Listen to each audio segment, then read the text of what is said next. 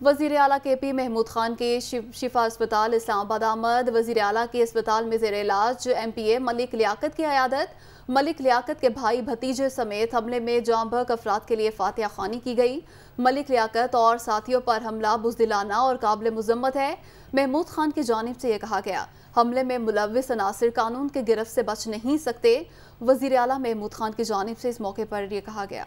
वज़ीर अला खैबर पख्तूनखा महमूद खान, शिफा हॉस्पिटल, इस्लामाबाद पहुँचे। वहाँ पर उन्होंने जेर इलाज M P A Malik Liaquat की आयादत की। मलिक लियाकत के भाई भतीजे समेत हमले में जाम के अफराद के लिए फातिहा खानी की है। कहते हैं कि मलिक लियाकत और उनके साथियों पर हमला बुजलाना और काबिल मसम्मत है।